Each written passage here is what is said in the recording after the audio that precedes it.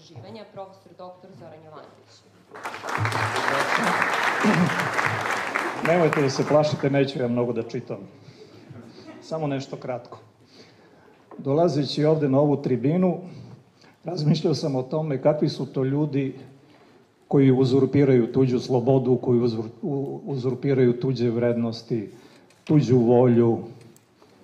A razmišljao sam i o tome kakvi su to ljudi koji pristaju na sve to. Koji dozvoljavaju jednostavno da im se ono što im je najdragocenije ukrade.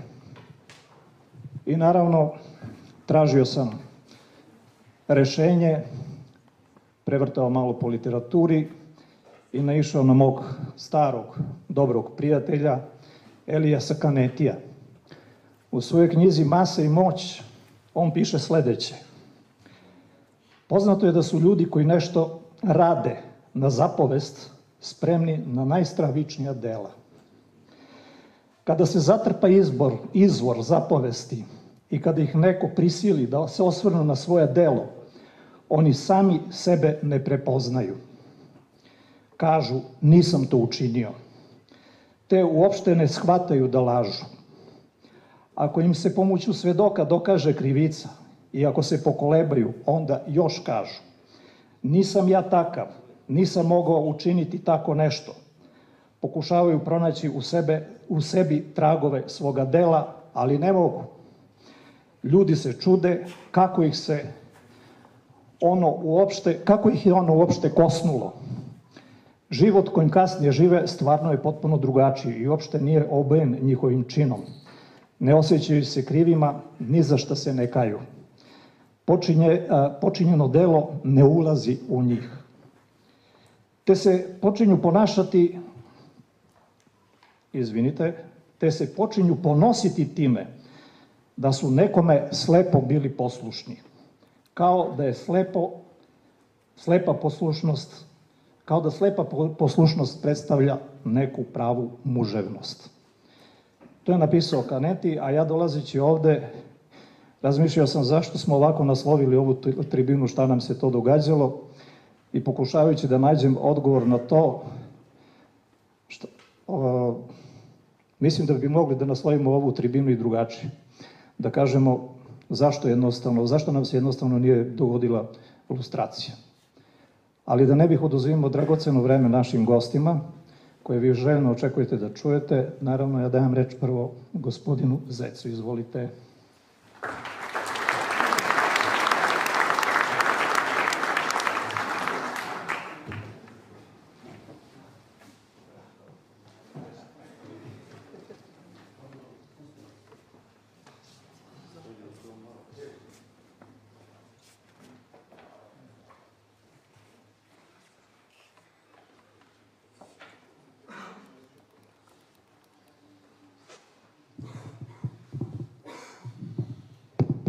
Radi, ja? Radi.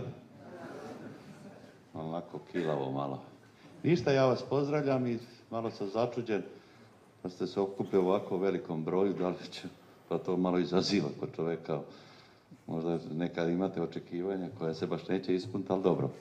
Ja sam pripremio jednu prezentaciju koja je više akademske narave, a pošto je ovde velika količina ljudi, ja ću to da potpuno sada, što kažu, na drugi način prezentujem. Mislim da je to primerenije u vremenu koje je ostavljeno. Koje je vreme? Nije ni, pa vreme je, vreme je ograničen i neobnovljiv resurs. I to je ključa zabuda nas u Srbiji, što mislimo da je vreme besplatno i da je večno. I, I ovo sve što nam se dešava, to je u stvari nedostatak ekonomije istorijskog vremena. I mi ga trošimo jer nam se čini da je džaba, a posle stižu računi i oni će tek stizati. Znači, to je prva stvar koju želim da vam kažem. A druga je stvar, ja sam ovo sada preradio sebi kao dve slike. Znate, imate mnogo zabluda koje se dešavaju svuda oko nas, pa neki kažu, nama je bilo dobro, sad nam nije dobro, je tako? I mnogi među vama misle da je to tako. Pogotovo ovi koji imaju neke godine kao ja, njima se čini da je to bilo mnogo bolje, Pa bilo je verovatno za njih lično su bili mladi, nisu imali lumbago, išijas i tako dalje, druge stvari koje se postupom dobijaju. Moja ideja je da vam u te dve slike, gdje smo bili i gdje smo sada, da otvorim pitanja za razgovor kuda ćemo biti dalje u stvari. Jer mi se i ne krećemo. Mi stojimo u mestu praktično. I mi u Srbiji objektivno smo sad na negde na nivou Bečkog kongresa. 1878. godine. Pošto mi, za razliku od drugih naroda, s kojima se graničimo i tako dalje, imamo jedan problem, mi smo mali Rusi. Mi smo i htjeli da nam se ovo desi. Mi smo i htjeli komunizam. Zapadnoevropski narodi nisu htjeli komunizam, komunizam je njima bio nametnuta stvar i kad je propao Sovjetski savez koji je snagom imperije to držao, oni su samo otvorili ormare, obukli su bunde, dame, frajle i vratili se tamo gdje pripadaju. U zapadni svijet, u građansku civilizaciju, tržišno društvo, NATO pakt i sve ovo tamo što sledi. I njihov izbor je bio olakšan. Mi Srbi, nažalost, mi ne znamo gdje ćemo se vratiti. Razumijete, mi smo definitivno razorili građansko društvo koje je inako bilo invalidno. Nama je istorija lijepa što je daleka. Što je daleka istorija. Vi kad pogledate srpske vođe, od Nemanje pa do gospodara Vučića, manje više slično. I niko nije baš tako slavno završio. Samo što je to bilo davno, pa je o, o poetika i tako dalje, ali tu se samo oči vade i se eko ruke i nosevi, tu nema drugog, drugog alata i tako dalje. Od svih naših modernih državnika niko nije završio normalno sem Broz, ali Broz niti je Srbin, to je drugi genetski i drugi politički softver. On je jedino sahranjen ovaj. Tu a nama je ostaju nasljeđi. Ja često se sjetim, kad sam ja bio student, to je zaista na mene bilo i to smo dobili smo u, u DB-u, to je ušao u dosije, i jedan pesnik ovaj, koji je tako strašno volio da pije, naravno na tuđi račun, takvi su svi pesnici, ali onda on vraća to zato što pravi stihove. I sad, poslije pet piva, on uvijek proizvede neku pesmu. I sjećam se, ja, mi smo bili studenti, umro Kosta Nađ. Neki ovdje koji stariji znaju da je taj Kosta Nađ narodni heroj i tako dalje. I on se pope za sto i, i poče da recituje dramskim tonom. Na vijest da je umro Kosta Nađ, kaže, druže nađe šta nas nađe, upadošmo u beznađe. I sad mi smo svi kao tužni, umro narodni heroj i tako dalje. Kaže, ako vidiš druga Tita, ako Tito za nas pita, ti mu reci da smo došli onda gdje smo sa njim pošli. I odmah odmah to beleži i tako dalje, ali manje više to je, to je dosta tačno. E sad dve slike. Slike, nećemo sad o srpskom građanskom društvu, to nek neko drugi priča i o svim njegovim dilemama i invaliditetima koje je ono imalo i tako dalje. To možete čitati Nušića, Domanovića i tako dalje. Da sad pričamo, mi smo bili u jednom komunizmu koji smo mi hteli, jel tako? Mi smo se borili za nje, ili veliki deo stanovništva se borio. Rusi su pripomogli kad su prešli, jel tako, na ovaj deo Balkana, ali veliki deo našeg stanovništva je hteo to. Kad se uzme jedno društvo, pokušaj da se izradi neko društvo, on ima dve neke tačke. Jedna je prva tačka koja je uvijek spora i koja je sporna i tada, a i sada, to je da li ono ima ekonomski motor koji mu daje mogućnost da bude, da se reprodukuje i da se samo održi. Da se održi. Pa tek ako taj motor radi, on može nas sviju povesti negdje na nekoj karoseriji i dati nam neku lepezu prava koje, koje to društvo podrazumijeva i lepezu institucije i tako dalje. E sad mi smo imali komunizam o kome mi nismo razmišljali dovoljno trezveno i nije on imao takve rezultate u svojoj bazi, a nama se činilo da, da, se to, da je to društvo efikasno. Znači, da bi jedno društvo da bi jedno društvo bilo efikasno, ono mora da ima neku ekonomsku samoodrživost. I sad ja vas neću zamarati, ja imam to u prezentaciji, dokaze i tako dalje, a to sve nije bitno. Vratimo se mi, na čemu se to društvo temelji? To zbog ovih mladih kolega. A i zbog nas starijih koji sada se, mnogi se vraćaju to kažu broz je bio bolje. Tako to su parole i to studenti će rado pisati to. Šta se, kako je to društvo u stvari funkcionisalo? Znači, napravljen je jedan model jednog društva koje je potpuno suprotno građanskom društvu. Po ekonomskom modelu, po socijalnom modelu, po vrednostnom modelu, po filozofskom modelu. Znači, vi imate građansko društvo koje kaže temelj društva je svojina i temelj je privatna svojina, javna svojina je korektiv. Praviš komunističko društvo da je temelj javna svojina, a privatna svojina koliko se dozvoli, počevši do okućnice, do stana i garsonjere i do dva para cipela. Znači, sistem ne daje tu mogućnost. Drugi je način, kako se odlučuje? U građanskom društvu odlučuje se decentralizovano na bazi svoje svojine, u komunističkom društvu odlučuje se centralizovano na bazi neke platforme, a mi smo dužni da to slušamo. Treća stvar po kome se model razlikuje je način, šta je motiv da čovjek uopšte učestvuje u ekonomskom životu. U građanskom društvu je motiv liči, motiv je profit, motiv je liči interes, tamo je neki opšti motiv. I zato smo mi strašno rezistenti šta su opšti ciljevi i tako dalje. Znači tu je neka državna dobit i tako dalje, neki, neka stopa rasta, neka priče. I četvrta stvar po kome se ta dva društva bitno razlikuju, kako se koordinacija dešava između ljudi. Ja?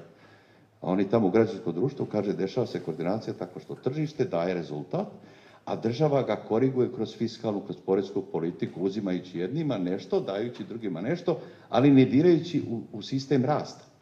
Ne dirajući.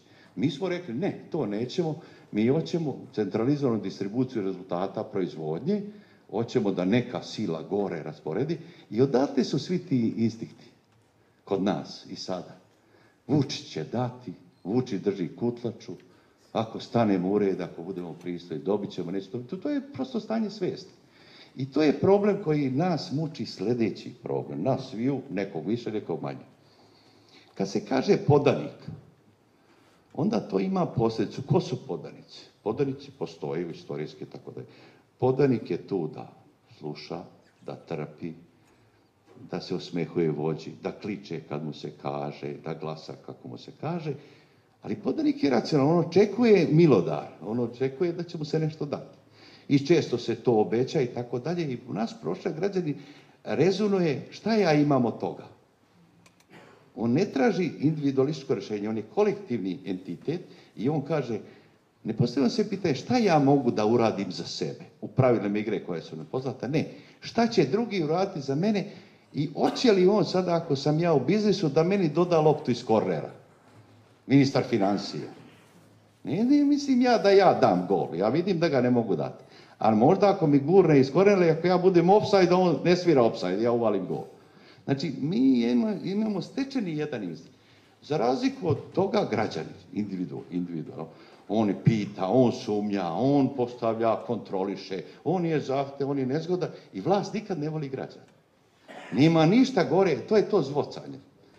On čovjek ne može da shvati da neko ima pravo da, da, da, da pita. Ja sam često šalim se to sa time, to je ta vododelnica čovjeka koji veruje i čovjeka koji sumnja. Mi smo ljudi koji smo više na strani verujućih, a manje sumnjajući ljudi. Ima sad jedna pričica koja je dosta tu ilustrativna.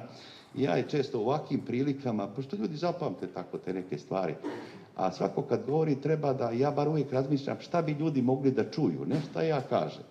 Mislim da je to osnov javne komunikacije, da ja sad mislim da ćete nešto zapamtiti, a ne ono što ja smatram možda najvažnijim i tako da. E sad imate ta priča, ja mislim da je ona strašno poučna. Vi kad odete odavde i stari mladi, malo se razmislite zašto je to jedna velika historijska priča, biblijska priča. To je priča o nevernom Tomi. Ne misli se tu na ovog našeg odlećaćeg Tomu, nego se misli na apostola Tomu. Vi znate da je bilo 12 apostola i sad je Hristos je ovaj, razapet i onda je on vaskrso i sad apostoli, znači politički aktivisti, oni sad propagiraju novu religiju da je Hristos ustao i tako formiraju masu. Ali taj Toma, apostol, stalo pita kako je ustao, pa ne može ustati, pa deo, pa ovo, pa ono, pa tako dalje. I stalno sumnja i, i deluje asimetrično u odnosu na glavnu ideologiju. I sad Hristos vidi on da se čim sumnja je pitanje, hoće se držati i doktrina. I Hristos odluči da se prikaže tom apostolu Tomi, to imate u Bibliji. I sad Hristos se pokazuje, jel tako? Kaže, veruješ li sad tomu? E, kaže, sad verujem, sad vide. Kaže, videh i poverova, to piše u Bibliji. I to, to je ta priča. Ali ima tu jedna rečenica koja je ključna za razumijevanje socijalnog života u Srbiji. Šta je njemu kaže Hristos na to? Kaže mu sljedeće to imate u Svetom pismu, kaže, blaženi su oni koji verovaše, a ne videš. Te ja tražim. I to naše vođe traži. To je verujući čovjek. Znači ti nisi video stopu rasta GDP-a, ali veruješ da on postoji. Nisi video ovo, veruješ i tako da. I to je jedna strašno, samo što je to u Bibliji, dobro je to koncipirano, to je jedna ideologija ozbiljnija. Dok to traje 2000 godina, mi ovi naše uvotimo posle 5-6 godina. A ovoga ne možda uvotiš. Zašto? Pa postoji, a to je doneto u Bibliju iz iranske religije. Je bilo jevreji, verujući, a sad, sad sam ja se od religioznog misticizma, to. Ovaj, Jer je suština u toj priči sljedeća. Jevreji su Božji narod, pošto mi Srbi vjeruju da smo nebeski ili, ili vođi narod, pa vođu onda menjamo. Ovaj, mi smo nešto posebno. Ali onda ne možemo mi sebi objasniti šta to nama to dešava. Oni jevreji, oni lutaju 40 godina, navaljuju skakavci, dešava se stalno neka nesreća. I stalno oni kažu, Bože, pa što nam to činiš? E onda se u stari zavet ubacuje ideja o zagromom životu i raju. To je velika logička priča. Jer ima smisla platiti ako će nešto dobiti. I onda i raj je tako fascinantno koncipiran da svi žele tamo da što kasnije. I niko se ne vraća da posvjedoči da baš nije tako. E sad da se vratimo na ovu našu storiju. Mi smo, znači, definisali da hoćemo socijalističko društvo. Socijalističko i građansko društvo se dele po mnogo razloga, ali jedan je, može se lako zapamtiti. E, građansko društvo, zasnovano na individui, ono je društvo koje kreira višak. Kreiraš višak u nadi da je on tvoj u tim pravilima igre. Kolektivistička društva su redistributivna društva. Redistributivna. Da se postoji neki višak, ali mi se žalimo što nama višak nije raspodeljen. Što neko drži kutlaču i kaže da uspe malo u niž i dođe Vučić, e sad ćete dobiti. Ili dođe Milošević, ili dođe bilo ko, ne, razumete?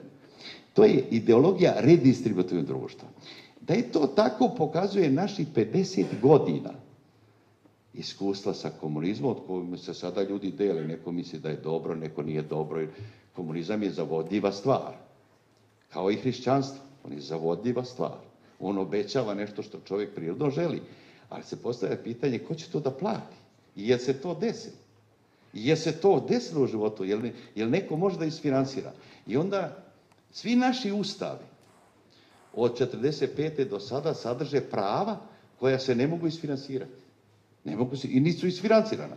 Ni pravo na rad, ni na pravo na život dostojan čoveka, ni pravo na pristojnu starost, ništa i tako dalje. I sad da skratim. Cijela, cijela zabluda tog modela, ima mnogo zabluda, što nije napravio ekonomski motor koji može da vuče čitavo društvo negdje na nekoj trajektoriji razvoja. I što je narod natero da se svi okreću prema vođi. I sad se svako pokušava ufati za neki volan da vozi. I mi smo sad na karoseriji, kažemo, izabrali smo vođu, vozim ja, vozim, vozim, i sad stao motor. Mi vićemo vozi Miško, neće niko ni da siđe, ni da, ni da pogura, ni da reparira motor i tako dalje. Znači, mi smo 50 godina tražili srce motora u socijalizmu, to je sistem kreiranja akumulacije. Znači, jedan sistem koji nije sposoban da kreira višak i da donese odluku o raspodjeli viška na tekuću potrošnju i na investicije, to je sistem koji se kad tad mora urušiti. Sve naše reforme privrednog sistema kojih je bilo više od pet, a manje od deset, zavisi kako se deli taj period, u suštini se se vodile oko jedne jednostavne stvari. Da li se može na tom nesvojinskom sistemu, sistemu koji je potpuno suprotan od svojinskog sistema, napraviti sistem koji kreira višak i omogućuje neku dinamičku raspodjelu tog viška da društvo ide naprijed i da drži korak sa drugima. Pa je u prvoj fazi od 45. do 52. godine to je država. Kaže, država kaže toliko mora da radite, jer država šta mora da odvoji? Radi rezultate rada. Radite više, radite više, a primajte manje. Oni kažu, nismo se mi za to borili. Mi smo se borili da radimo manje, a da trošimo više. Znači, to je sistem centralizovane kontrole akumulacije da država propiše preko partije koliko mi treba da proizvodimo čarapa, cipela, šinskih vozila i tako dalje, i tako dalje. Evo sad ne gnjavim, to je akademska tema. Pa kad smo se zavadili sa Rusima, rekli smo nećemo to, ćemo samoupravljanje.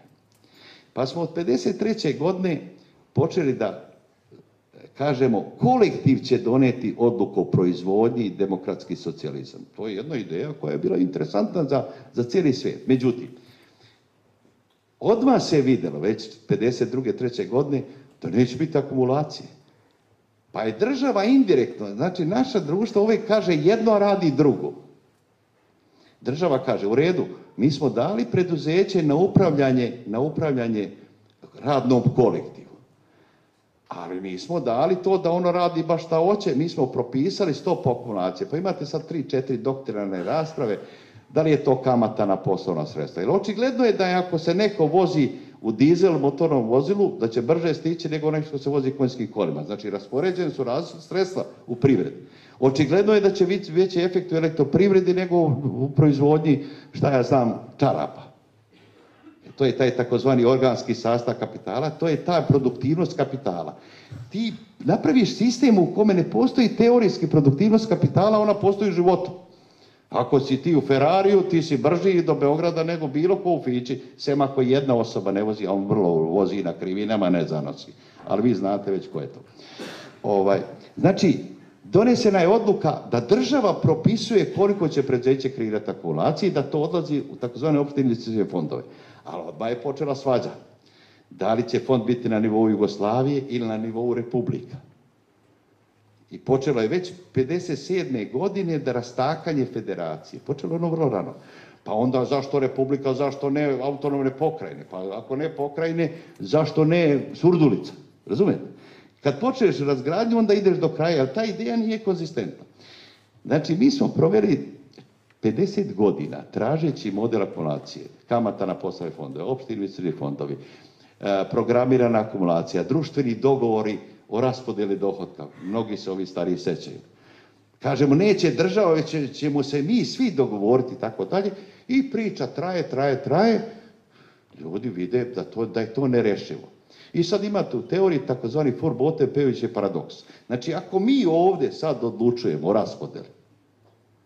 a sredstva su opšta, vrlo je racionalno da mi odlučimo dajte plate, one su naše i zauvek, i prvi ćevapi su naši, ne da mi donosimo odluku o investicijama, pa da ovo krećemo, mi smo završili školu i tako dalje.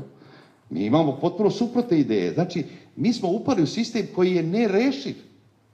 I mi smo 50 godina, zadnji smo mi to priznali da je to nerešivo. Nama se sad to čini dobro. Ovaj, a kako je to funkcionisalo? Sad vidimo, trajalo je to dugo. Sad će neko meni reći pa bilo je ovo, pa bilo je ono, pa bilo je ovo, pa bilo je ono i tako dalje. Pa kako je koštana vranje proizvoda toliko cipela, sad ne može da proizvodi ništa i tako dalje. Ima hiljadu argumenta koji, koji, koji su iz svakodnevnog života. Evo vam recimo jedno moje iskustvo gdje sam se ja usvedočio da ta stvar ne može da funkcioniše. Znači, jedna je stvar pročitati u knjizi, jedna je stvar da vam neko nešto ispriča. Morate se lično osvjedočiti. Ja sam se kao student ekonomskog fakulteta osvjedočio vrlo rano da to nije moguće. Kako sam se, vrlo sam se vizualno osvjedočio. Ja sam se našao u Moskvi na studentskoj ekskurziji, tamo smo mi svi išli u Rusiju, to je majčica i tako dalje, i sada tamo na Crvenom trgu, ili tako, to svi, svi ste vjerojatno bili, ste vidjeli na televiziji, s jedne strane je Lenjino mauzolej, s druge strane jedna robna kuća koja je dugačka 980 metara. Ogromna jedna zgrada i ono parade ove kad ovaj komando, ono s druge strane je robna kuća. I sad tu su stigle, kaže, i sad mi ponosni, mi smo iz Jugoslavije, stigle su, kaže, cipele koštane vranje. Našeg velikog, odavde iz Južne Srbije, proizvođača. To je kad je narod navalio sa crvenog trga, da juriša na te tezge, ne, ne možeš ti ni birati ni boju, ni broj, ništa. Ti drpiš šta stigneš. A poslije na crvenom trgu, onda onaj koji je uzeo čizme 46, on menja za 42 i obrnuto. I na crvenom trgu se dešava alternativno tržište. Alternativno tržište. Znači, to je sistem u kome ima više tražnje za robom, a nema robe. To je društvo oskudice. Neki Janoš Korea napisao je ekonomija oskudice, tako dalje. Ja sam znači osvjedočio se da alternativni sistem, ja na kraju mogu dobiti 42 broj i crne ili crvene cipele samo na tržištu. Distributivno ne mogu, jer se juriša. Pa sam bio ponovo u Moskvi kad je Moskva postala komunistička, kapitalistička. I sad ta ista, ista je ta zgrada, međutim, to što ti uđeš, samo se svira Vivaldi, šetaju se ove devojke koje su ovaj, rekreativno ovaj, funkcionišu sa tajkunima, cipele 3000 dolara, ima koliko hoćeš. Mo, imaš po dve da ti, jedna te obuva levu cipelu, jedna desno, nemaš 3000 dolara. Sad oni koji bi kupili koštano branje, ti idu bosi, ti ne postoji u Moskvi, zato mi ne možemo ništa njom više izvesti. Ne treba njima ta više roba. I da mi imamo 5 miliona cipela u koštani branje, tamo oni koji bi bili za te cipele, oni su bosi. A oni koji imaju pare, e, oni neće koštani branje, oni će baldanini, hoće nešto drugo i tako dalje. Znači, mi nismo rešili tu suštinsku stvar. A kako smo živjeli? Pa kako i sad pokušao živjeti? Da odložimo budućnost. Mi trošimo, sve smo resurse potrošili, mi sad trošimo budućnost. Evo recimo ilustracija. Ilustracija. Nema ima veze, se, najbolje je s narodom. Između mene i mog naroda nema posrednika. Šalim se, nije ni važno. E, gledajte. Znači, već 57. godine sistem pokazuje da ne formira dovoljnu stopu akumulacije, to je ovo što naš premijer kaže, stopa rasta GDP-a investicije. 57. godine. Neće se da se počinje blaga reforma. Prvi put se pojavljuje reč reforma 57. godine. Da bi 61. godine već bilo po novinama da se piše, to je prva reforma koja pokazuje da nema dovoljno sredstava za investicije i da sistem ne može da zaposli svoje stanovništvo. Pojavljuje se prvi put prikrivena, pa onda otvorena nezaposlenost. Otvorena nezaposlenost. U čemu je broz veliki? Što stalno nudi iluzije reformi, kao i ovi drugi vođe. Znate, ovdje se upravlja, upravlja se društvom kao biciklom. Okrećeš i ideš. Čim staneš ti padaš, jer toga i nema, sve je iluzija. Znači, taj biciklo je ovdje vrlo interesantna jedna, jedna sprava za upravljanje društvom. E, gledajte, 61. godine počne rasprava gore na nivou federacije, kako, šta, raspravlja se o akumulaciji, investicijama, o modalitetima, o stimulacijama, svima se raspravlja, samo se ne postavlja suštinsko pitanje da je to mrtvorođen sistem. Da je taj sistem, to je onako ko lepa žena, ali ne rotkinja, ne džabe ti oko nje sve, ali ne ide, to ne proizvodi, to višak. E onda se on doseti fascinantno, si, uvijek moraš da nudiš iluziju. Kaže, ja sam demokrat, ja ću dati ljudima pasoš. Pa ja ću dati da oni odu negdje da mi ne štrajkuju ovdje. Oni će štrajkovati ovdje, oni će mene skinti, zato je Broz genije bio, da i oni idu tamo. I oni idu, baš ovi što i sad i Vučić kaže, idu oni usmereni, idu majstori. Majstori idu, idu seljaci. Jer Njemačka se oporavlja maršalovim planom i trebaju upravo više, više ljudskog resursa nego što može u, u jednim kreativnim erotskim fantazijama da proizvede. Ne može. I trebaju ljudi. Ovi odlaze tamo. Platni bilans koji se već 64. godine beleži negativne efekte. Sistem više troši nego što proizvodi. Oni idu tamo, ljudi spavaju po dvojica, trojica u krevetima, nisu geji, nego rade 12 sati. Sve šalju ovdje, prave kuće, požarevac, niš, surdulica, kupuju traktore, spremaju da se žene i tako dalje. Odlazi jedna, jedna industrijska seljačka masa koja je otišla tamo da radi i zaradi. Oni to sve šalju u zemlju, zemlja se puni neto deviznim prilima, doznakama i tako dalje. Puni se zemlja i čini se da je kriza prevladana jer sistem više troši nego što proizvodi i mora da uvijek ima taj sistemski deficit pokrića. Međutim, šta se dešava? Oni ljudi tamo 3, 4, 5 godina, vamo tamo, ne može se vratiti.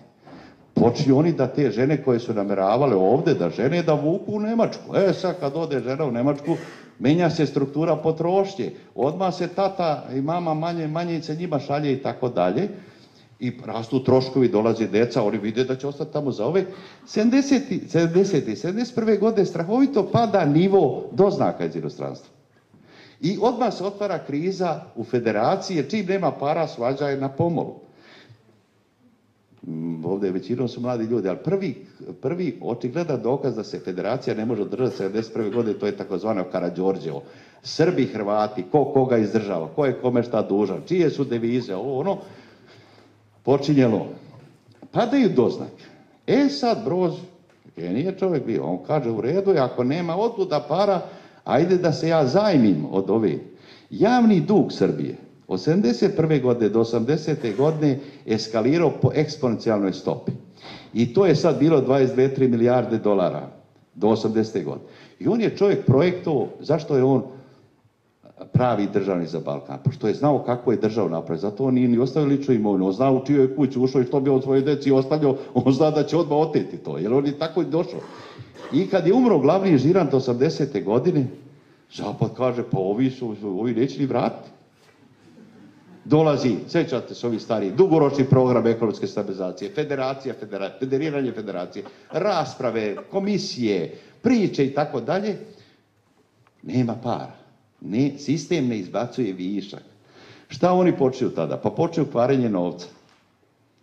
Počinje inflacija. Udjeli su staru deviznu štednju. Ovi, ovi su ljudi namamli. Mi smo imali pet banaka koji su odlaze u Njemačku i kažu Deutsche banka nudi 2%, mi 4%, Beo banka, Ljubljanska banka i tako dalje i kad je to došlo, to je sve potrošeno. I dolaze 90. godine, kuća je prazna i mi smo zaratovali.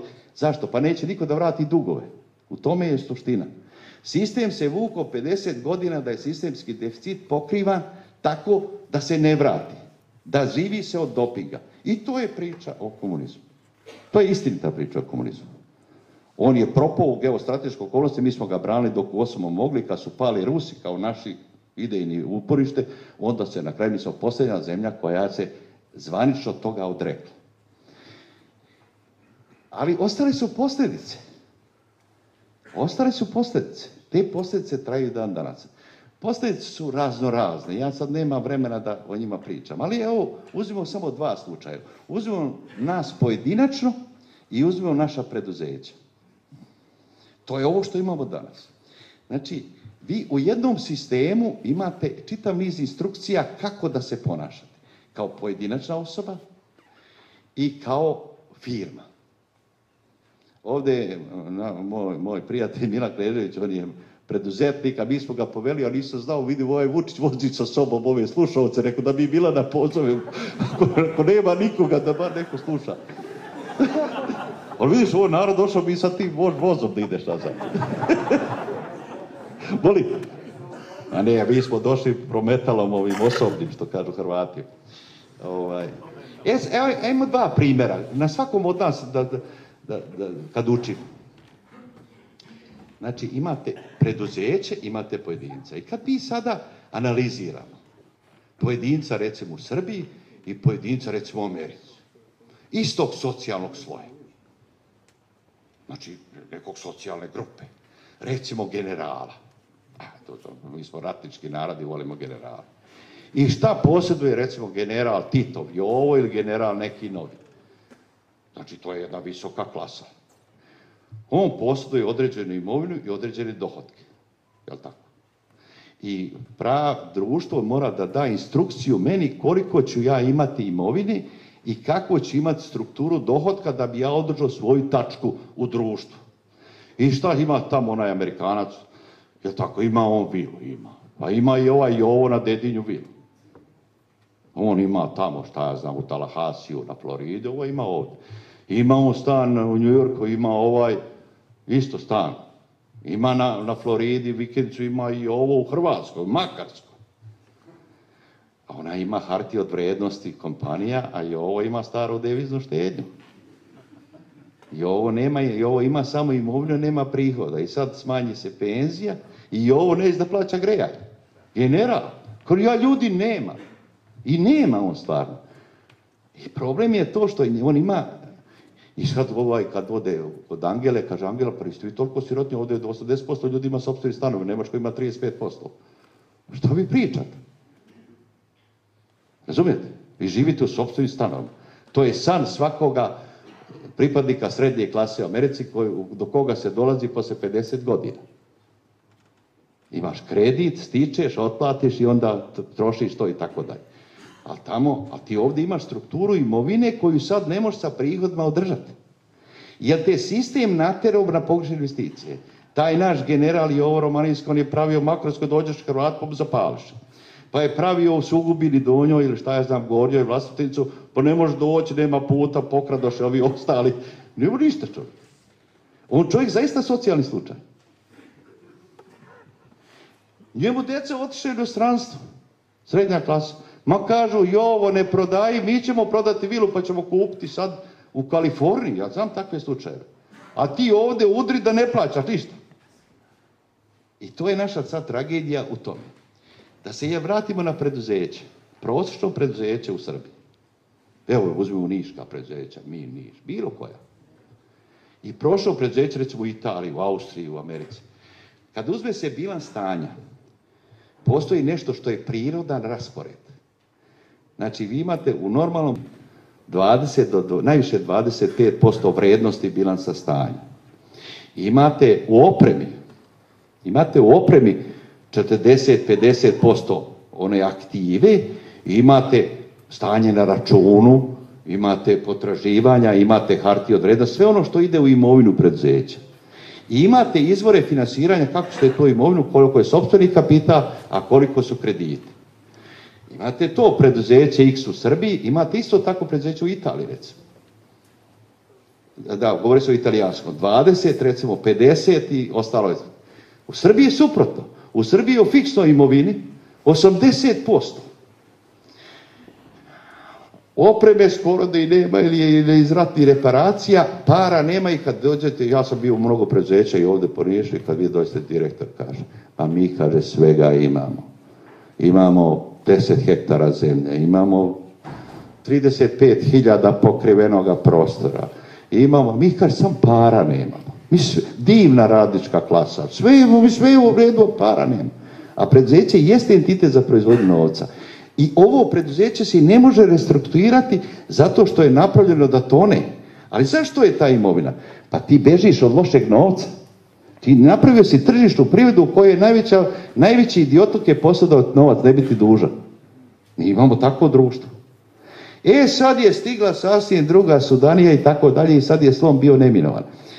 Znači mi imamo u Srbiji desetine gradova, kliničke centre po 8, 10, 15 spratova, novu zgradu, a opreme nikakve nema. Par je tako u Beogradu, u Zrenjanu, evo sad ste vi dobili, umilostivili ste ovoga pa ćemo kao dati neke opremu. Primjera radi, kad kupiš opremu, ti kupiš stvar za 3 miliona, a nećeš da daš lekaru pristojnu platu da neko zna uopšte to čitati i da hoće da čita i da ga ne kvari namjer. I da mora skener da radi 24 sata. Pa damo 300.000 za jednu operaciju, mi smo mogli sve mlade lekare poslati specijalizaciju za 300.000. Mjesec dana da to nauči i tako dalje i tako dalje. Znači, tamo su stare zgrade, a nova oprema. Ovdje su nove zgrade, a stara oprema. Ovdje je potpuno suprotno i nerešivo. Ali je nastalo kao logika nelogičnosti toga što si htio da napraviš. Znači, ti si izašao iz jednog sistema gdje su ti fundamentalne metaboličke stvari se počele se pojavljivati jer se samo dramatično uvećavaju. Disproporcija između proizvodnje i potrošnje. Ona još nije sanirana. Disproporcija između uvoza i izvoza, između štednje i investicija, između zaposlenih i nezaposlenih, između zaposlenih u birokratiji i zaposlenih u privredi, između kolega ovaj da ne podnosi neki izveštaj. Da.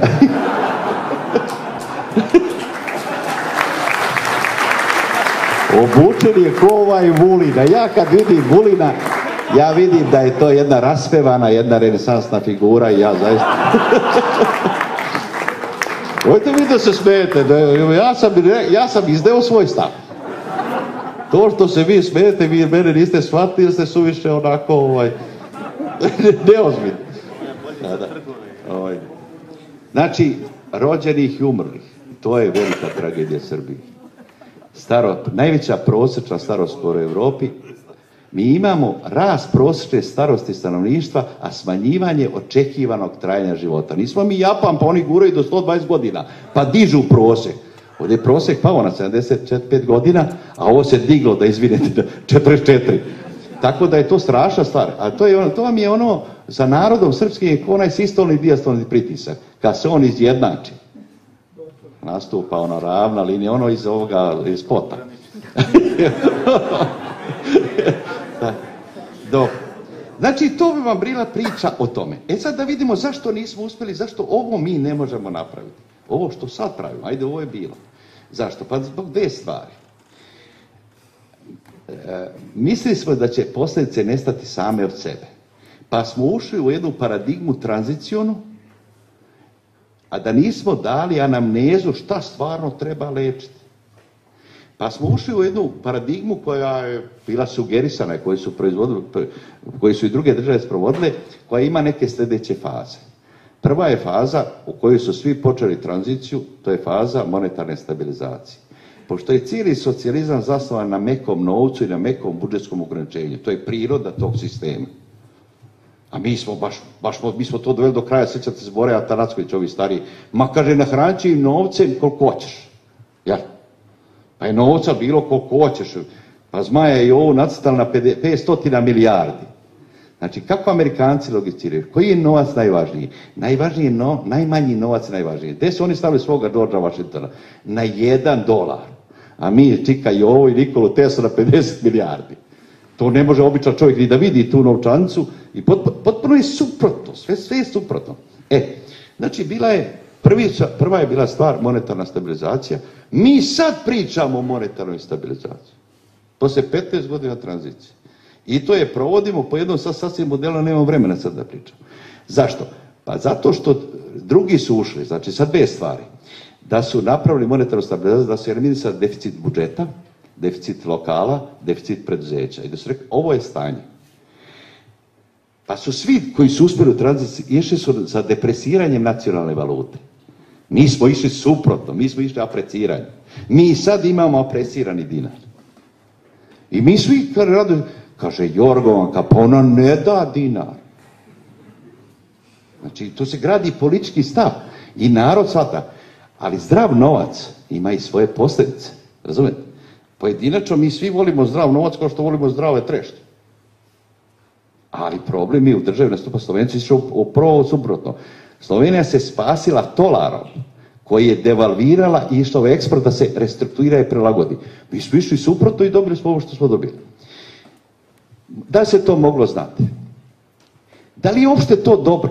Evo, evo, jedan, evo jedan recimo primjer istorijski. Ajde, sad nema veze da ja vama sad pričam, pa će ispasti da ja kritikujem vlast, što ja nikako ne želim da činim. Što nije ni zdravo. Ja sam to radio, pa su mi izbacivali iz država i sad nema gdje bežati u Kanadu, daleko je i mnogo je ladno. Ovaj. Evo recimo, šta prosječni Srbi misli?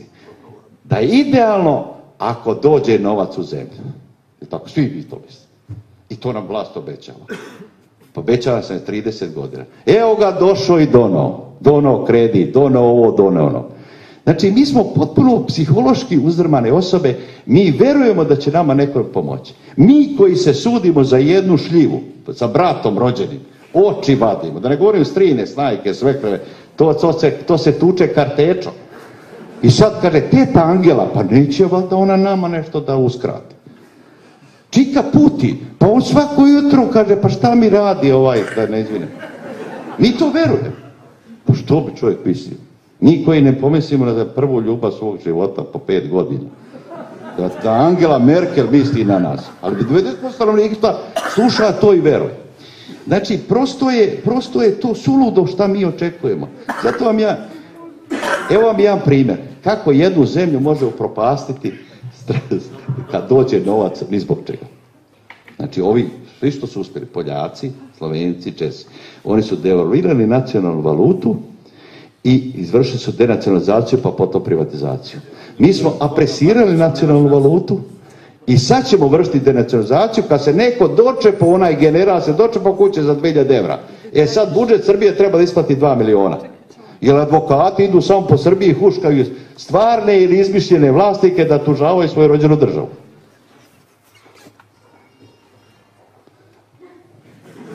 Jer vi imate službu oče.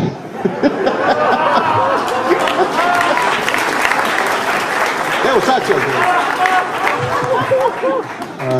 Profesor me je pitao nešto, pošto sam ja profesor, moram da odgovorim. Profesor suviše banalizuje.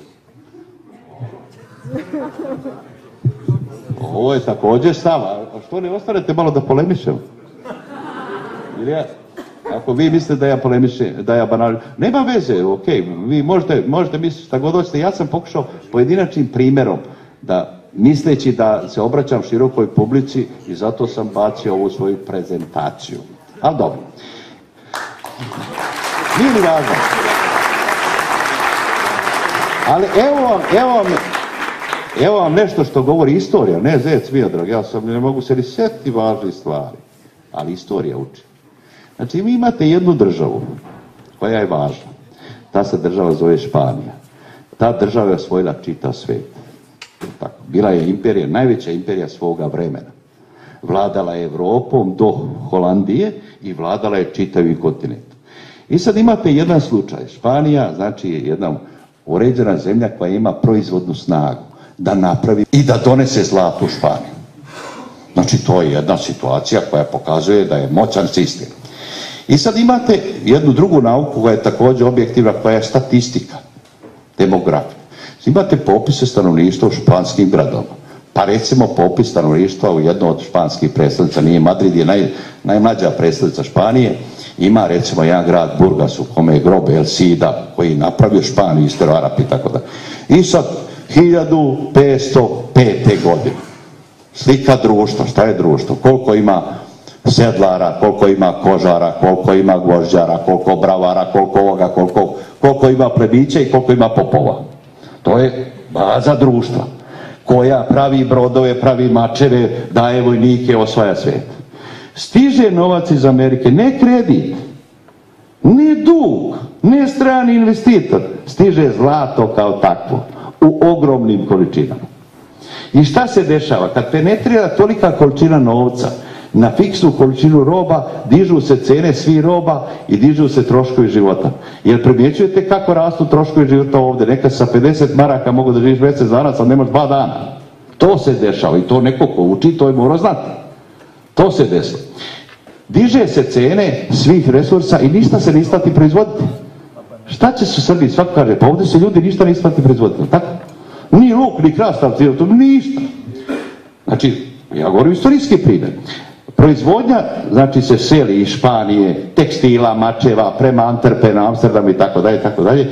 Španija poslije 200 godina strahovite penetracije novca biva perifere evropskih zemalja koja se još i do dan danas nije oporavila. Ona je bolesnik Evrope i danas. Znači to neko morao znati. Mi smo htjeli ovo, pa dobili smo to što smo dobili. Dobili smo troškove, jer ljudi su očekivali da će veza sa Evropom biti da će prvo stići plate, a da će cene ostati iste. Ne, ne, prvo stižu cene, a plate ako budu i vrlo redko. I to se nama desilo. I to je neko morao znati koji upravlja tim procesom, jer to uči istorija. Ode ovaj profesor, šta predaje on? Je li ovo banalno? On? Pa ja mogu da sad sa njim u Residu raspravljam. Žao mi baš te otišao, mislim. Ja sam borac čovjek, mislim. Čim se neko ne protiv, ja ne oni želje. Šalim se, nije ni važno. Znači, znači, struktura u toj prvoj fazi mnoge su stvari trebali da se, da se desi. Onda počneš s repa, počneš liberalizaciju. Liberalizaciju, liberalizacija cena, kurseva, valute i tako dalje. Ti imaš apresiranu valutu, a skineš carine. Pa vidite što ovaj Trump radi. Pa kaže, ja obaram dolar, danas je dolar pao ispod švajcarskog franka, što nije nikad bilo, to je danas je kurs. I uvodi carine. Razumijete? Mi smo postali žrtve nedovoljnog promišljanja teorijskih stvari koje nam se nude. Mi smo prosto poligon za manipulaciju nečega što ljudi hoće da nam uradi i prirodno je što žele da uradi. Pa prirodno je što Amerika hoće da uradi to. Pa prirodno je što Nemci to rade. Ja ništa se ne ljuti. Samo je problematično, problematično ovo što smo mi sami sebi radili. Evo vam još jedan istorijski primjer i tim završavam. Mislim da je vrlo koristan. Ja, ja mislim da je baš koristan. Eto, otišao je ovaj moj kolega. Evo primjera radi. Mislim da je strašno važno i za naše političare i tako dalje, na nažalost.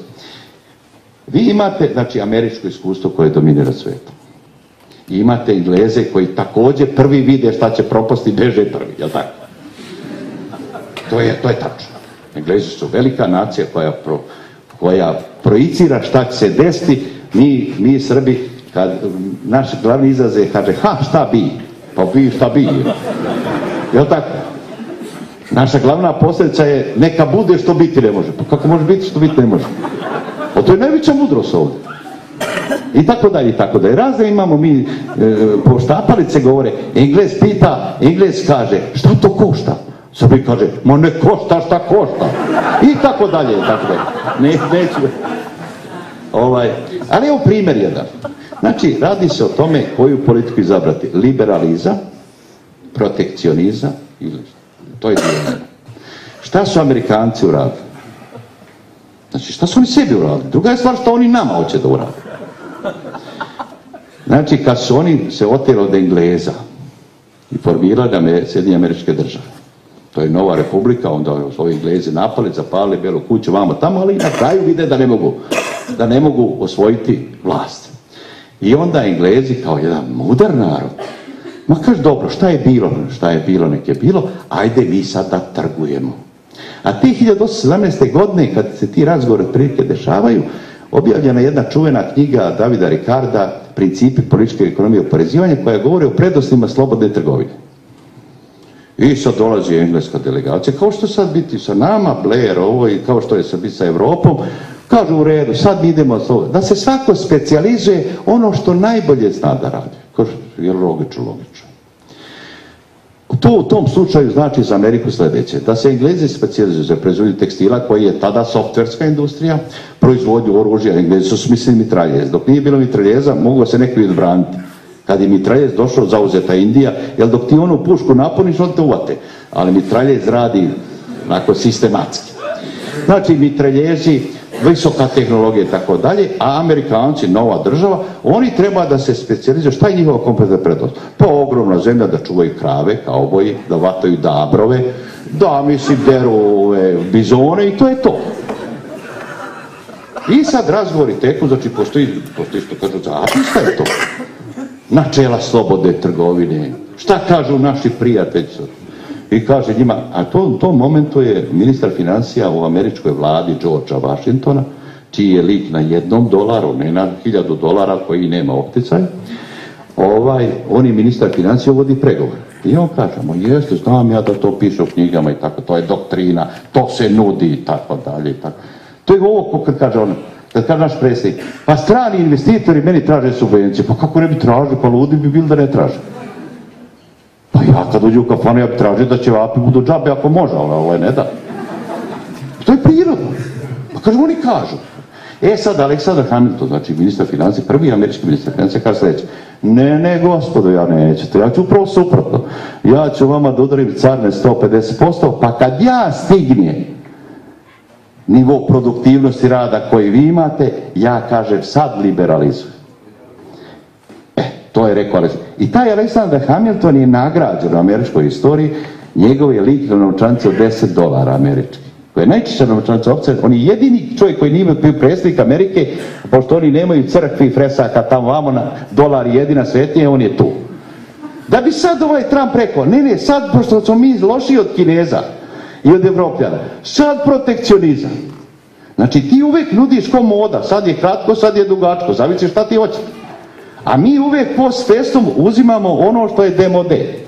Za naš slučaj. Znate ono, kupio sam cipelu u Beču, posle tri godine idem na svadbu u Leposavić i obukao sam ono se više ne noće takve cipele.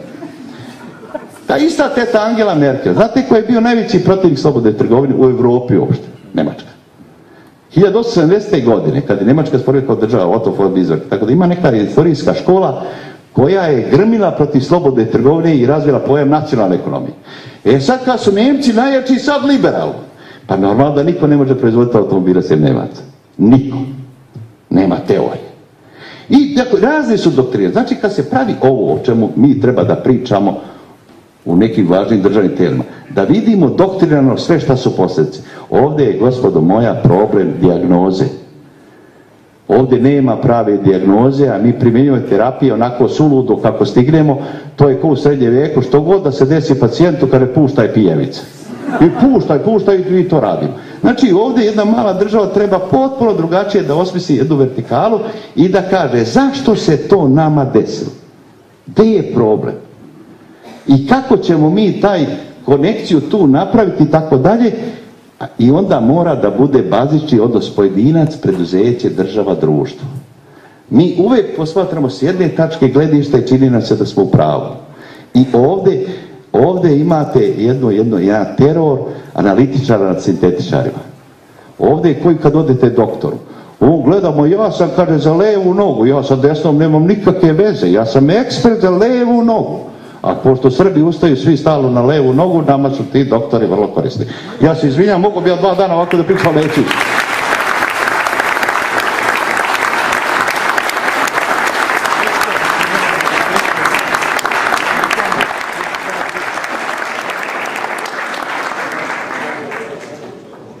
Poštovane koleginice i kolege, prvo iznenađen sam da vas toliko ima i hvala vam na prisustvu. Moje izlaganje će biti strukturno-istorijskog karaktera. Naime, da bismo znali šta nam se događa, moramo znati gde se nalazimo i kako smo do ovde stigli. Pomenut je Berlinski kongres. Berlinskim kongresom Srbija je dobila, kao što svi znamo, nezavisnost.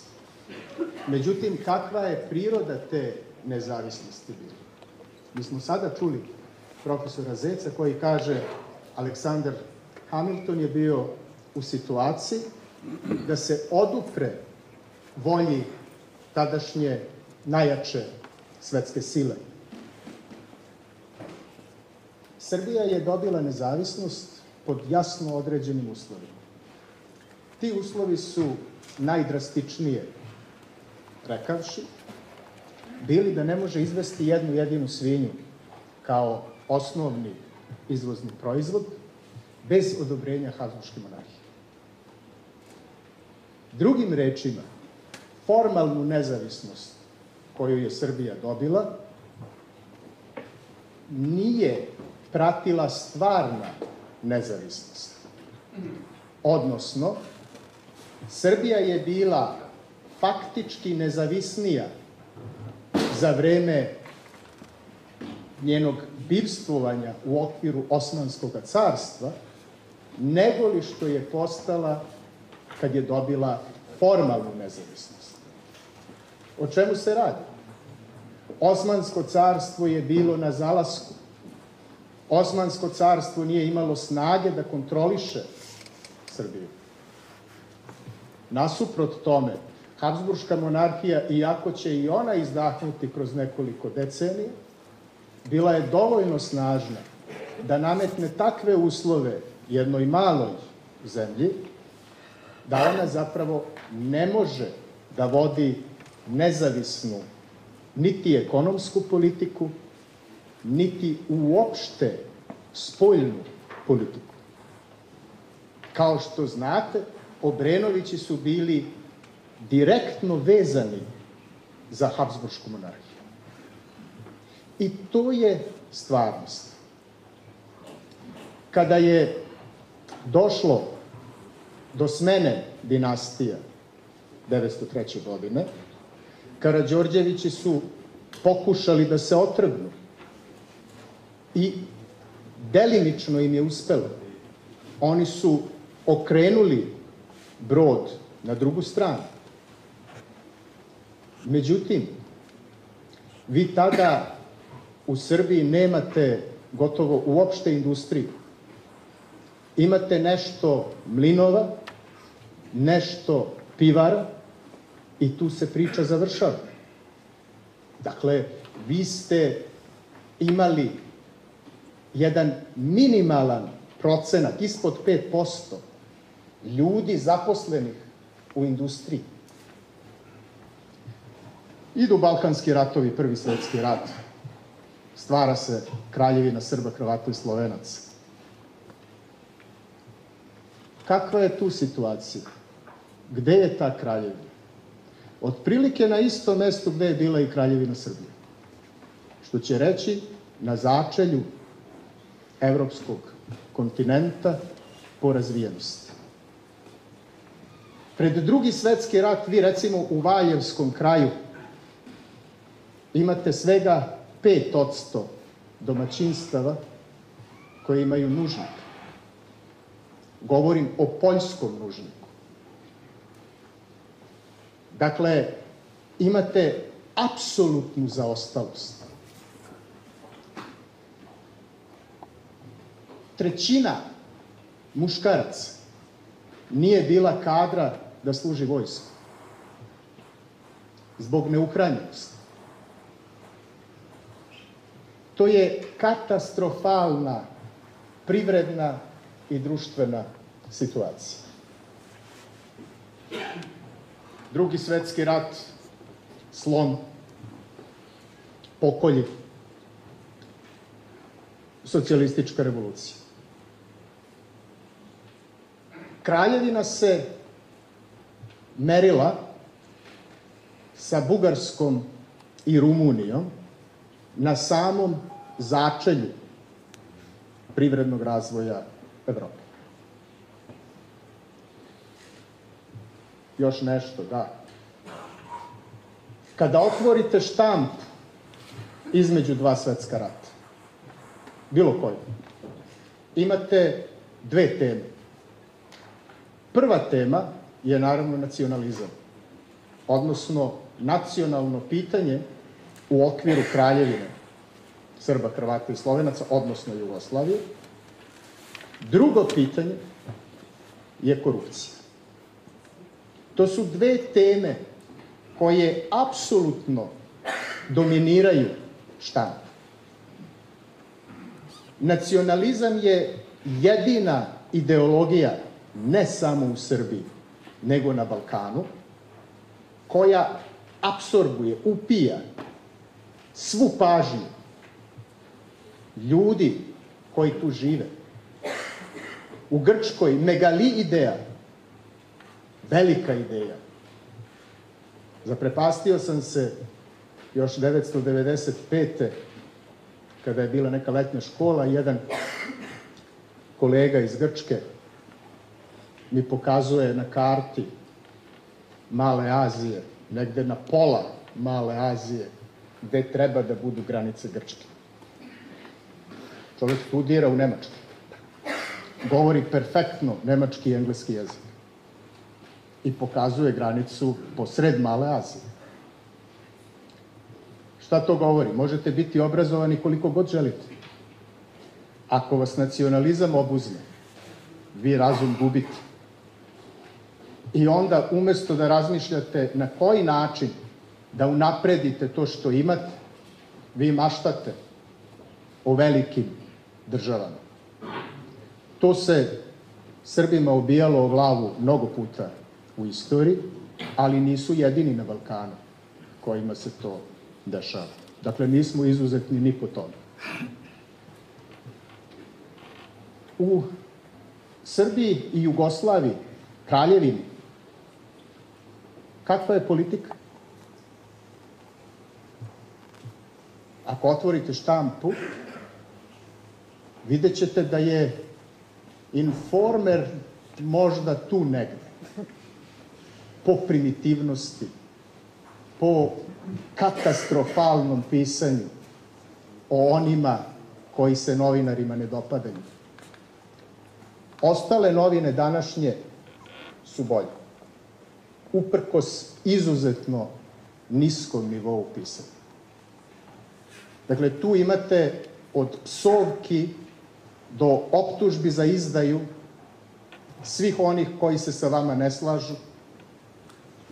To vrvi na sve strane.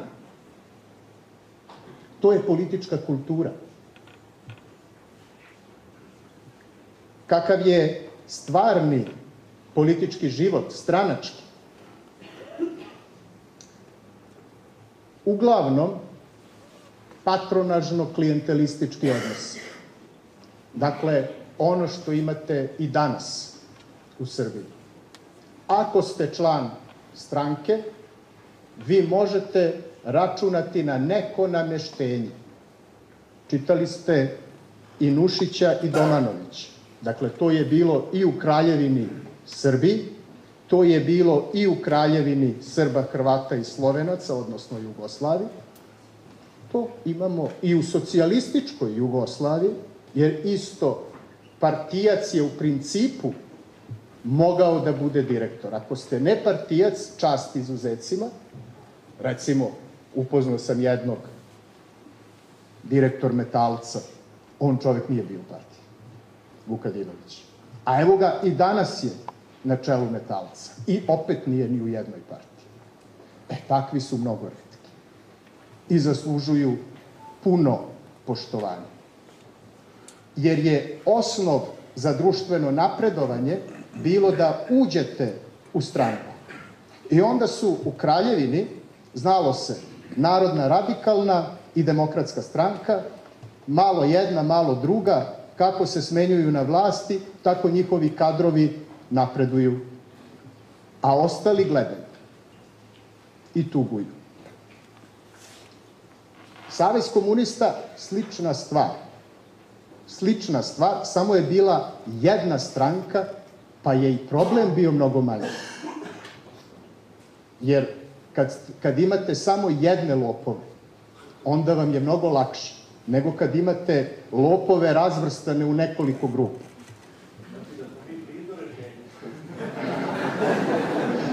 Nismo, nismo, jer ovde je bitno, ovde je bitno imati fingirani višestranački sistem. Dakle, višestranački sistem gde će niz stranaka biti dekor jedne autoritarne vlasti. Ali, da se vratim još i na Kraljevinu i na socijalističku Jugoslaviju, pa ću praviti paralele i sa savremenim društvom. Ako, su, ako je Kraljevina bila na samom dnu u Evropi, socijalistička Jugoslavija se nešto popravila. Svako ko je putovo severnom Gr Grčkom u vreme Josipa Broza, mogao je da vidi da je jugoslovensko društvo naprednije. Međutim, 90. godina stvar se iz temelja menja. Kad putujete severnom Grčkom, vidite zbog novca koji je iz Evropske unije tamo prosto upumpan, vidite da se stvar izmenila. A ovde rat, sankcije, potpuna katastrofa, jedan takođe lopovski autoritarni režim Slobodana Miloševića. I vi, odnosno mi, nazadujemo. Mi smo tokom 90-ih nazadovali ne 10 godina, nego nekih 50 godina. Zbog čega? Zbog toga što se in, informatička revolucija ubrzala tokom 90-ih. I mi smo to izgubili. Dok su ljudi drugde značajno napredovali, mi smo nazadovali. To nije 10, nego 50. Posle oktobarskih promena, zapravo imate ono što Vučić s zove pljačkaška privatizacija. Ja se s njim tu slažem. Kao što znate, obično se s njim ne slažem, ali, ali ovo je tačno. Ovo je tačno. Vi imate niz ljudi koji su se obogatili, a da prethodno nisu bili bogati za dve, tri godine. Između ostalog, Siniša Mali je jedan od njih. On je upravo počeo u demokratskoj stranci i obogatio se za par godina. Danas je opet tu i bogati se i dalje. Evo, to je samo jedan primer, a mogao bi se niz primera navesti. Dakle, kada, kada imate to, vi suštinski nemate čemu da se nadate. Zato što ste u jednom siromašnom društvu, a imate nezasite lopove. I najgora stvar jeste što je taj patronažno klijentelistički sistem stranački u punoj snazi. On je, razume se, i danas prisutan u Srbiji. Kakva je politička kultura?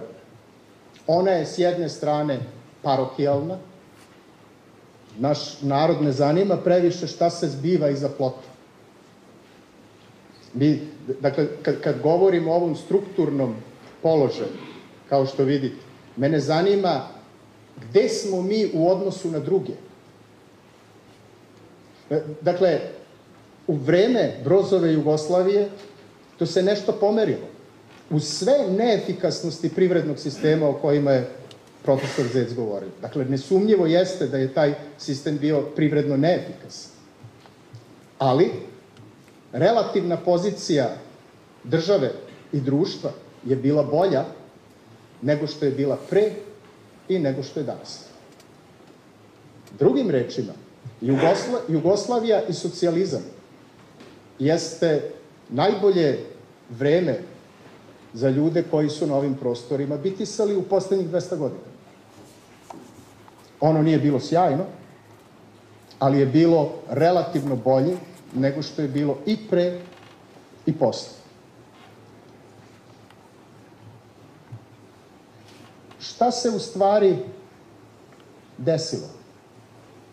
Slobodan Milošević je potpuno izgubio iz vida, baš kao i današnji vladar, oni su bili na istoj strani, da je Berlinski zid pao. I oni su mislili da Srbija može da vodi politiku potpuno nezavisno od interesa preostale globalne sile. Razume se, posledice svi znamo. Mnogi u Srbiji nisu to mislili, ali ti su u Srbiji bili u manjini 90. godina. Dakle, većina nije uvek u pravu. Većina može grdno da greši. Većina može odvesti jedno društvo u provali. Ali, volja većine mora da se poštuje u društvima koja se legitimišu opštim pravom glasa. Osnovno je, međutim, da imate slobodu sredstava masovnog opštenja. Pa onda da svi mogu da iznesu svoje mišljenje, svoje argumente. Ako to nemate, onda se većina može veštački stvarati i održavati, što se danas radi.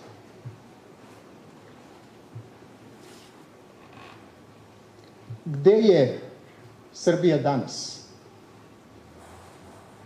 I šta je Evropska unija kojoj Srbija teži?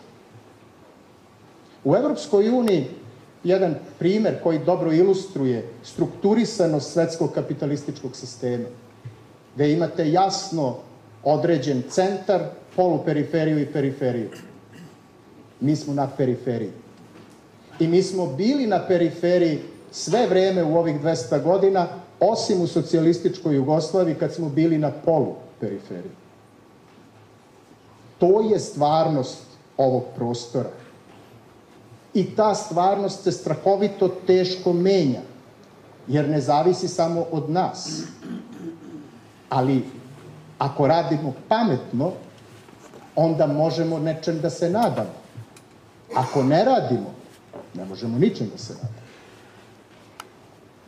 Dakle, u Evropskoj uniji danas imate, na primjer, Rumuniju i rumunska prosečna plata iznosi polovinu prosečne plate u Češkoj. To vam je odnos periferije i poluperiferije svetskog kapitalističkog sistema u samoj Evropskoj uniji. A prosečna plata u Češkoj iznosi trećinu prosečne plate u Nemačkoj. To vam je odnos poluperiferije i centra svetskog kapitalističkog sistema u samoj Evropskoj uniji. Srbija je, razume se, i politički i privredno na periferiji svetskog kapitalističkog sistema. Ona ni u najluđim snovima ne može biti centar. Ona može da se nada, ako se pametno radi, da pređe na poluperiferiju, a i to neće biti brzo. Dakle, to su strukturna ograničenja u kojima deluju delatnici, pojedinci, stranke, preduzeća, svi u ovom društvu. Mi možemo da se samo zavaravamo, ali to nije dobro. Bolje je da budemo trezveni, pa da znamo ograničenja u kojima delamo. Šta bi moglo da se radi? Jer ovo je analiza za koju mislim da je neoboriva. A recept je drugačiji. Recepte nude, nudimo razne, različiti. Prvo, mora da se uspostavi pravosudni sistem, a njega je strašno teško uspostaviti. Ali dok vi nemate Sinišu Malog, Bogoljuba Karića, Miškovića, Vučića, njegovog brata i razne druge u zatvoru, ali prvo pravedno suđene, vi sasvim izvesno ne možete krenuti dalje. To je nemoguće. Evo sad.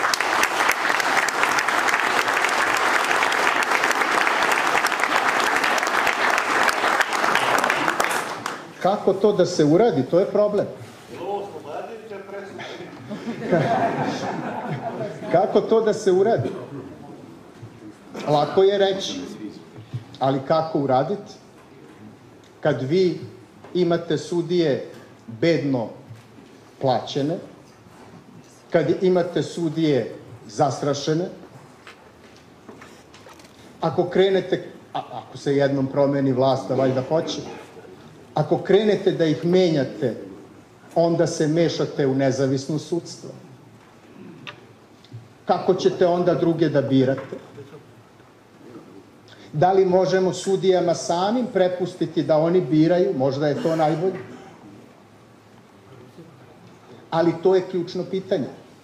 Bez jasne vladavine prava i pravne države vi ne možete ništa da uradite. Tek kad imate vladavinu zakona koji jednako važi za sve, onda možete nešto i da činite, možete nečem da se nadate. Druga stvar, očekivati od političkih stranaka ovakvih kakve jesu promenu. Tek je to iluzionizam. E, to je potpuna besmislica. A onda šta raditi? Evo vi imate ovde profesora Jovanovića, mog kolegu i prijatelja Đoleta. I ljudi koji su s njim radili, oni su pokazali da neka inicijativa iz samoga društva, iz lokalne zajednice, može da donese ploda. To je prva pobeda organizovanih građana nad sistemom. U ovoj zemlji otkad ja pamtim.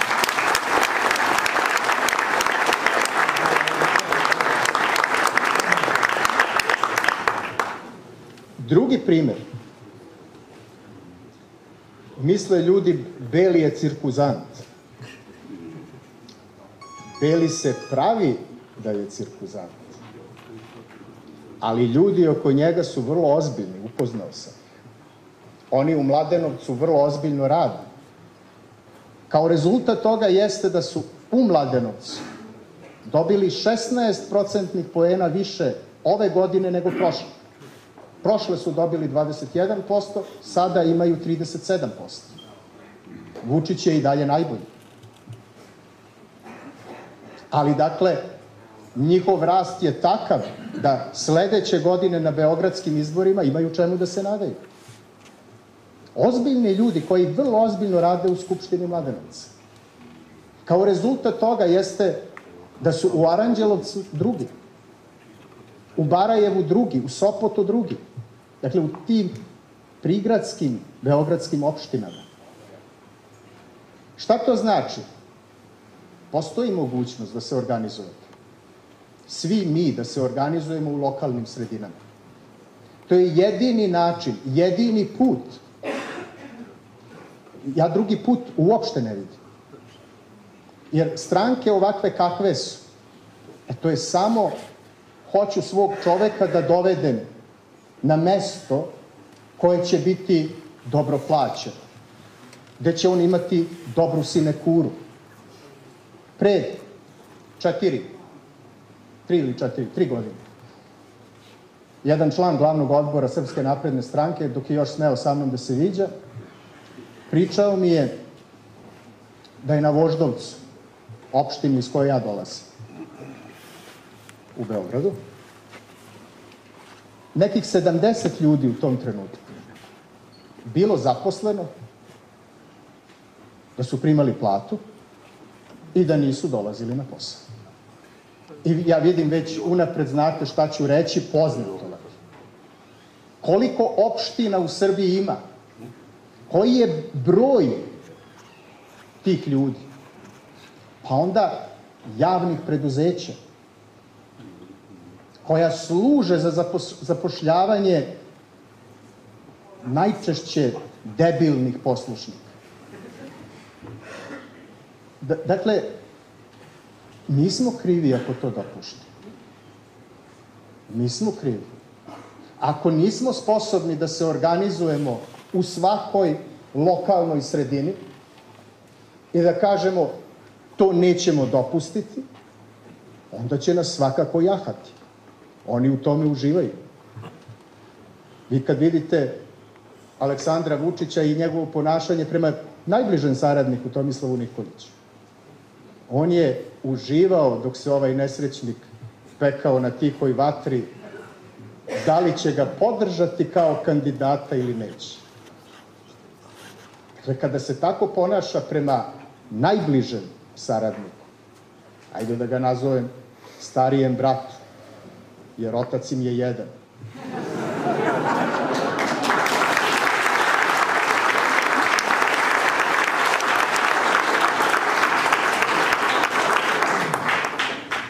Otac je uzgled obećao da ko dobije manje od belog treba da se povuče iz politike. On je dobio više nego duplo manje od belog. Vidjet ćemo da li će se povući. Nešto ne verujem, ali ajde da vidimo. Dakle, kad se tako ponašao prema njemu, a kako će se ponašati prema nama, svim građanima, pa onako kako ovih pet godina i pokazuje. Ali kao što vidimo, on je dobio ove izbore. Pazite, mi, nama može da se ne sviđa. I mi možemo da kažemo da izborni uslovi nisu bili fair zbog sredstava masovnog opštenja televizije sa nacionalnom pokrivenošću i tako dalje. I naravno, tačno. Ali, on je pobedio. On je u Beogradu osvojio nekih 45% glasova.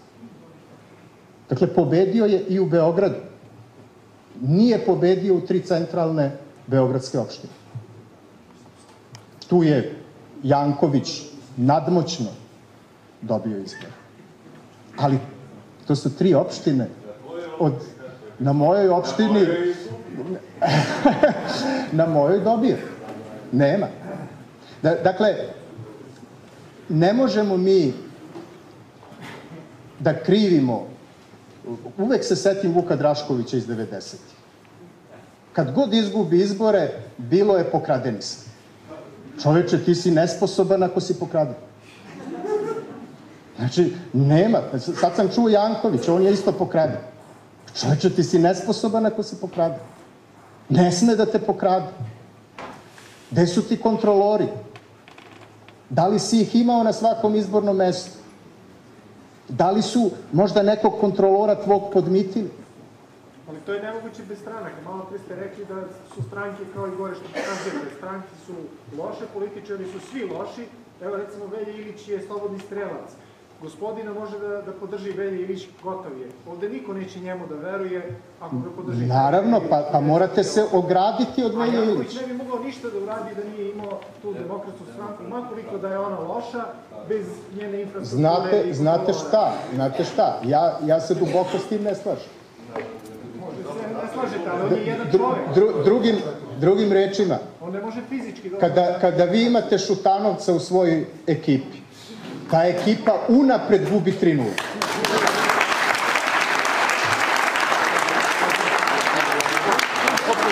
Ja ti kažem, ne sporim ja to, nego kako jedan čovjek, evo ja hoću da se kandidujem, kako ja da kontrolišem šta se radi u Dudulajcu? Pa, znate šta? Znate šta? E, laganim građenjem organizacije. Srećno za 70 godina. Pa, može i ranije, može i ranije. Jer, reći ću vam, reći ću vam, bolju Srbiju sa Šutanovcem ne možete doživjeti. Dakle, ne možete ni sa Šutanovcem, ni sa Veljom Ilićem, to je nemoguće. Dak- je- zašto? Pa zato što je, zato što je sistem, sistem je potpuno truo.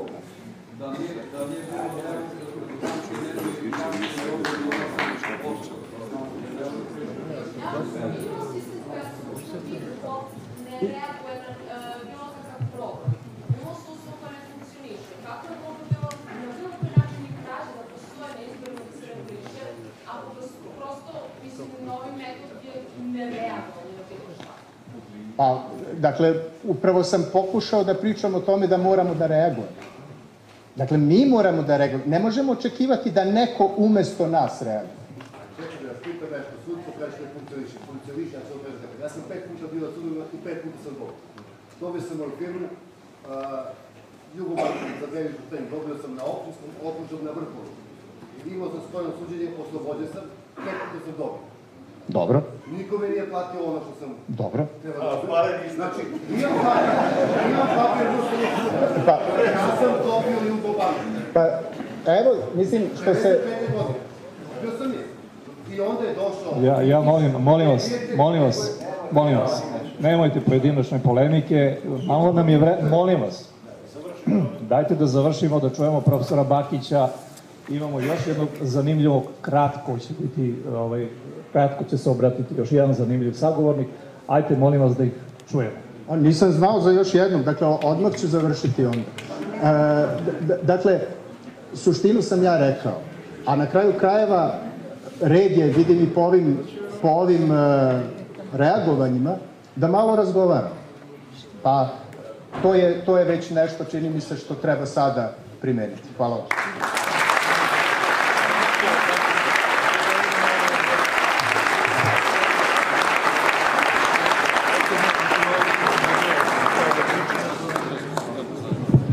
Poštovani auditorijume, ovo je uvijek bio dom polemike i različitih mišljenja, a nikada nije bio dom omalovažavanja. Ajte tako da se ponašamo, da budemo da budemo ovaj, parlamentarni i da, održimo duh akademizma u ovoj kući. Šta nam se to događa? Kratko će nam kroz svoje paradokste kazivati filozof Miroljub Knežević. Samo da ga sačuvamo, da ga čujemo, izvinite, veoma i da ga sačuvamo, u redu je. Samo kratko.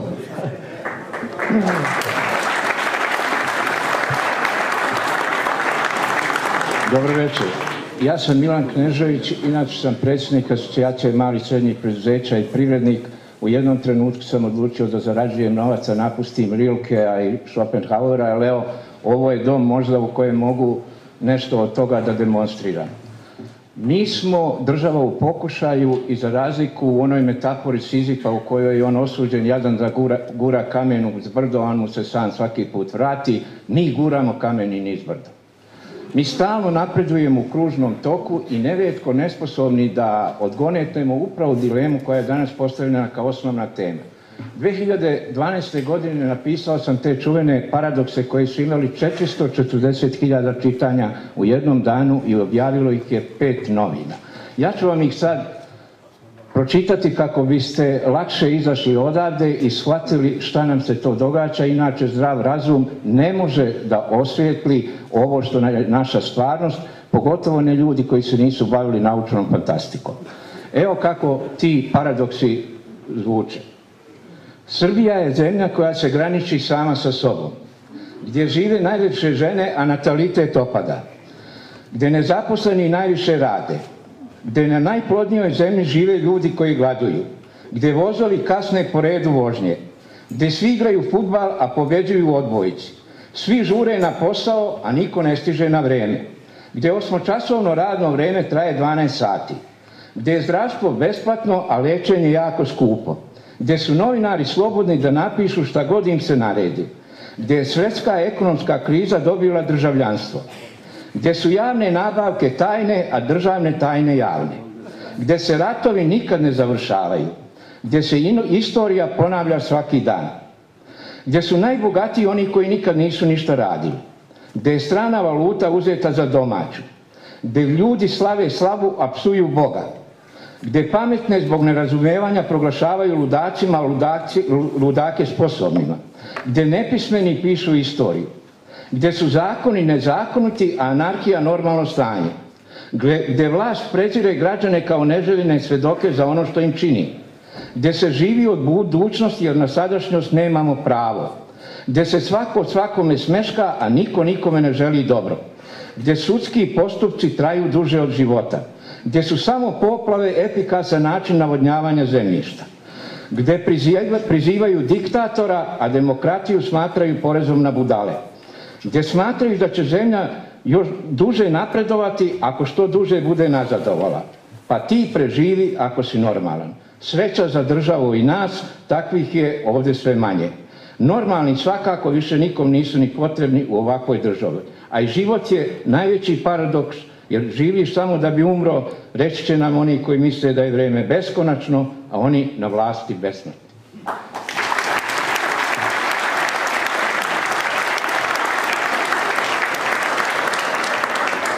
Mi samo jednu stvar nemamo tu o kojoj je profesor Zez dao najbriljantniju analizu. Nemamo državu. A država ima u društvu istu funkciju kao što u, u prirodi ima svetlost. Mi smo u, tamu, u tami, nemamo svetlosti i mi sređujemo kabine torpedovanog broda ignorišući godinama svoju zlu sudbinu. Hvala vam.